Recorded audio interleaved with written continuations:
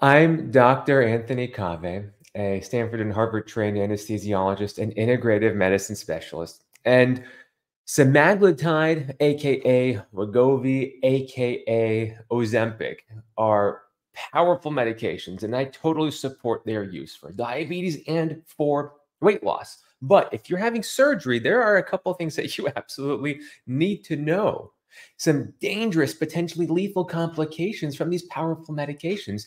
So, we're going to talk about those.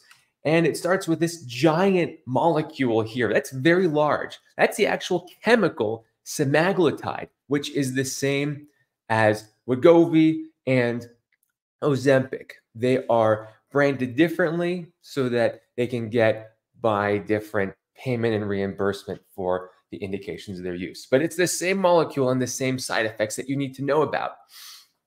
The good news here is that, uh, well, that's actually what the little injector looks like. But the good news, unrelated to the anesthesia thing that I'm going to tell you about, is that very, very recently, like literally a couple of days ago, the FDA found that there is so far no basis behind the concerns around increased suicidality or increased suicidal ideation risk around these medications. So that's very good. The thing that we're going to talk about are the gastrointestinal or GI side effects because this can be problematic. I don't want to gross you out with any pictures here, but a couple of things that have absolutely been recognized as higher risks that can be life threatening, but fortunately pretty rare, are pancreatitis. This CT scan right here shows a little bit of white stuff in the dead center of that.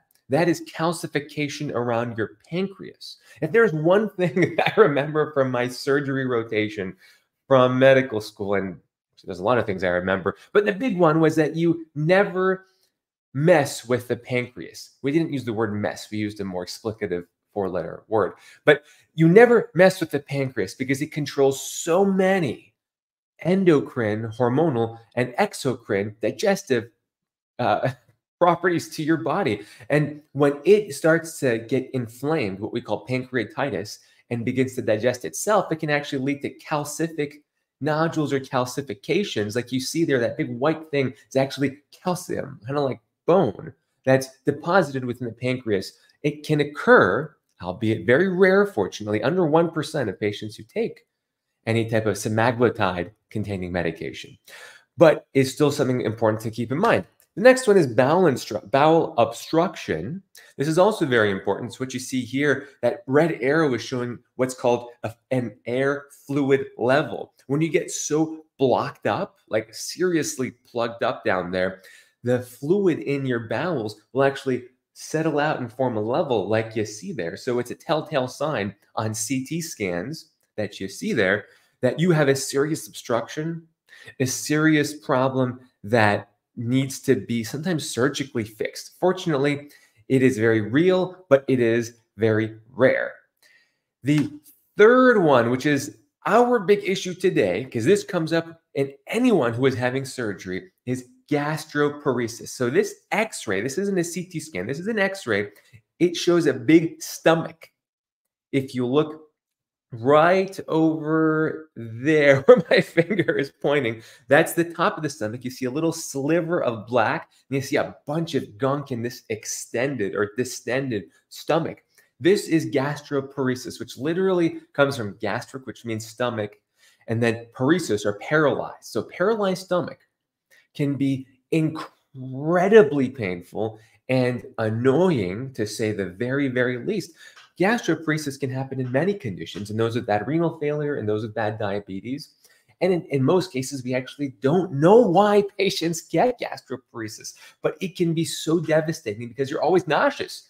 And look at that x ray. Of course, you're going to feel nauseous. If your stomach is that ballooned out, food ain't going down, you can feel horrible, distended, and just it, it's really sad because we don't have good ways of treating it. On the natural side, we can try to use ginger. Ginger root is powerful as a gastric motility agent, meaning you actually can move that stomach around to hopefully get some of that gunk out of your stomach.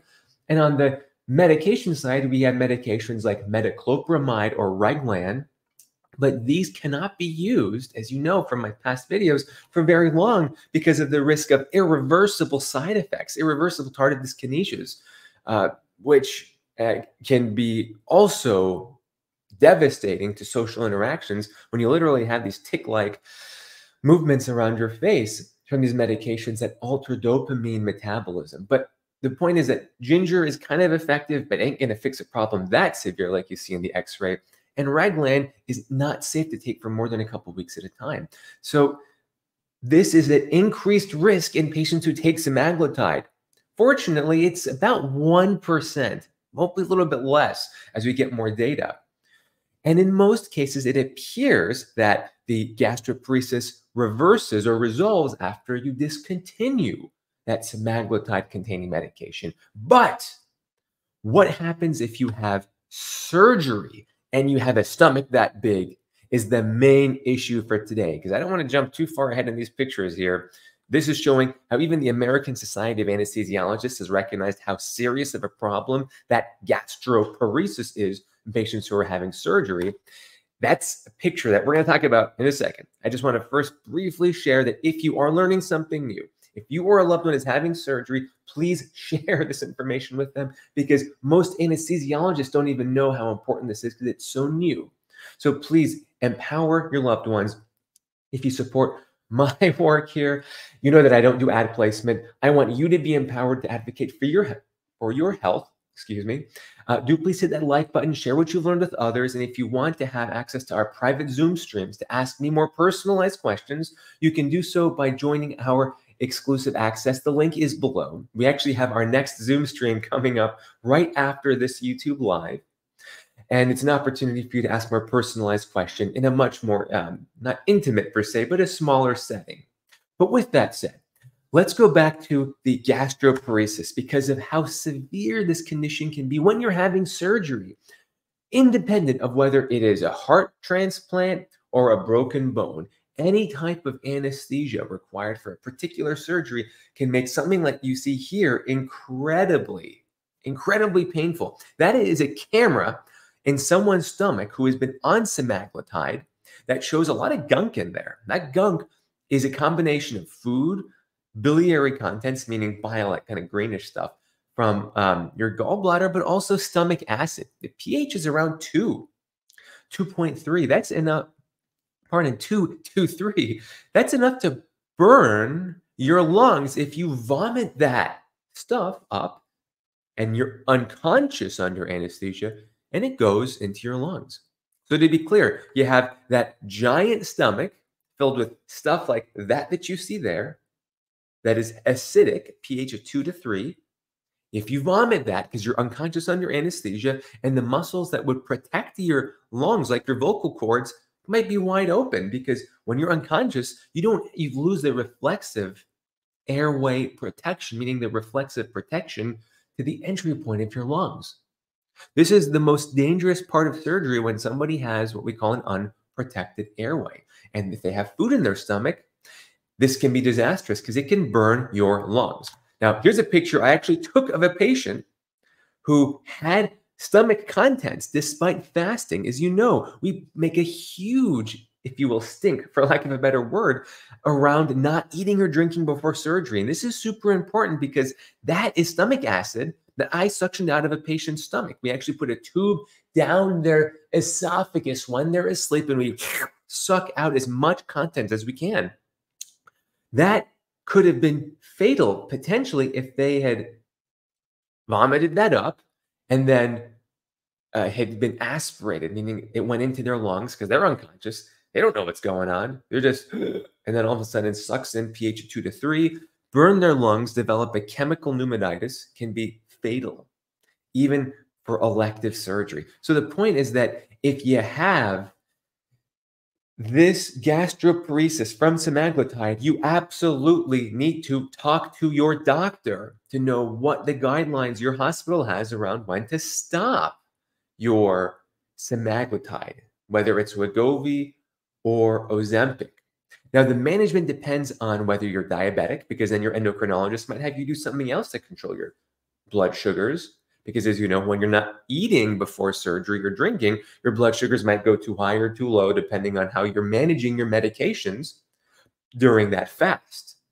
It also depends the uh, how long you should hold your Wegovy or your Ozempic. Also depends on how often you take it, whether these are day, daily or weekly shots. We might ask you to hold them for a different amount of time, but the point is that it is individualized to your specific reason for taking it, whether for diabetes or obesity, and how often you're taking it. And you don't want to cut corners here because that picture that you see is real life that I took in the operating room and somebody had stomach acid that could have, I don't want to be dramatic, but could have killed them for a routine surgery for a knee arthroscopy. Like, could not be more benign of a surgery. Like, a, literally a 15 minute surgery that could have gone completely wrong had that been vomited up instead of me sucking it out, despite them following the fasting guidelines. And just to be clear, when you see this picture here, this is somebody who had been fasting for 10 hours. After 10 hours, your stomach is supposed to be empty. You're not supposed to have anything in your stomach because your stomach naturally should be clearing out everything after eight hours in average individuals. But after 10 hours to have that much stuff means that your stomach is paralyzed. So, nothing against these powerful medications to reduce obesity, but we absolutely need to be mindful of the side effects and whenever possible, questioning the risks and benefits and making sure that we are doing everything that we can to support our own health hopefully to come off of these medications. With that being said, I can't wait to answer your questions right now live. I see so many comments have built up here. But just one more shout out to you. You have more power over your health than you've ever been told. As you know from watching this channel, please uh, advocate for yourselves. We live in a broken healthcare system where most doctors don't even yet know how severe these side effects from these medications can be during surgery. And you deserve to have the best possible care. So please learn. If you want to subscribe to the channel to keep up with all the learning and ask, ask your questions. I love that. But most importantly, you have more power over your health than you've ever been told. Please advocate for yourself and your dear loved ones in our healthcare system.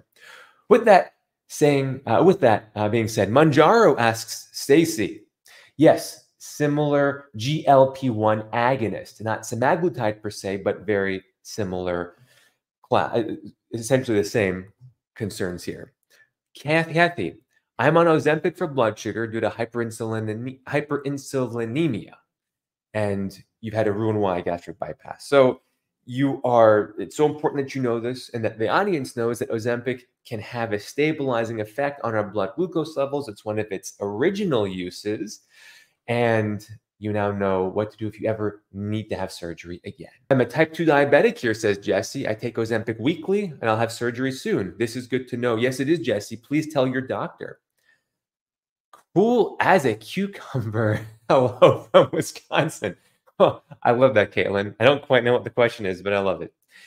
Do you think there'll ever be a cure for gastroparesis? Rafi, a lot of people are putting a lot of money into studying that. I don't know the answer, but whether it's a medication or whether it's literally installing a simulator to stimulate the stomach, I'm sure we're going to find something because it is such a major problem. It doesn't affect a huge number of people, but for those that it affects, in particular diabetics and those with kidney problems, it is absolutely life altering and maybe life destroying. It's Lena wondering if having had pancreatitis in the past increases the risk? Very good question. We do not yet know the answer. At least I am not aware of there being any data. But if it's happened once, you are more likely to have it happen again. So I would not want, certainly one of my patients, to be taking another or adding another risk factor for pancreatitis if they've had it in the past. Very good question. Hiatal hernias, ask Yvonne. Hiatal hernias can absolutely increase your risk of aspiration and that really nasty stuff that you saw here in that patient that I suctioned the gastric contents out of because a hiatal hernia can also um, mess with the standard gastric emptying times, meaning that NPO guidelines or nil per os, the fasting guidelines, uh, might need to be more conservative in those with hiatal hernia. So it's actually a major issue for any anesthesiologist to be aware of. So you need to tell your anesthesiologist if you have a hiatal hernia, especially if you have a a history of bad acid reflux with that hiatal hernia. Liraglutide that is daily, not weekly. Uh, 9. Um, that is a very good question about when to stop it. Typically, for weekly, we recommend, based off of the American Society of Anesthesiologists guidelines, to hold for one week, but you need to speak with your doctor specifically for what their recommendation is. Uh, and yes, I agree. This is no joke, 100%. Skater, surfer, snowboarder, good to see you on. After surgery, what are tips to have you kick out the nausea, get back to eating normally, and doing number two normally as fast as possible? So I have whole videos on this. Very good question. In short, you want to have the right mindset because believe it or not, guided imagery and clinical hypnosis as a patient is falling asleep can impact their degree of nausea after they wake up. That's why I have a particular script I do with my patients as they're falling asleep. But also making sure that there's adequate movement, there's adequate opioid sparing analgesia used appropriately, meaning we minimize the risk or minimize the use of excess and unnecessary opioids that will be constipating, and ensuring that we have the right PT and movement after. Often, uh, thoracic epidurals can be very helpful to help minimize pain, minimize constipation, and help optimize movement because we don't have as much pain, especially for certain thoracic or abdominal surgeries. Very good question. Um, cheap magnesium supplements will also help you feel nauseous. Well, magnesium oxide can certainly do that. The non oxide forms of magnesium tend to have less effects like that. There's a reason why we call it milk of magnesia. You're absolutely correct. Milk of magnesia because of that very constipating effect of oxide forms of magnesium.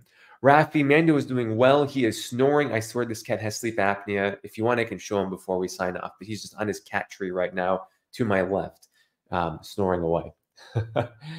uh, hey, thank you so much for that, Marianne. Hope very kind of you. I always support your help so I can do this more often because you know I don't do ads on this channel. I want to make this as helpful for you. Uh, I will say that you can always visit me in my clinic in San Francisco. The link is below as well. Uh, but moving on, Irene says, do take meds, but know people who do. Have a wonderful day. Have a wonderful day as well. and Kathy, we'll get Mando before we sign off.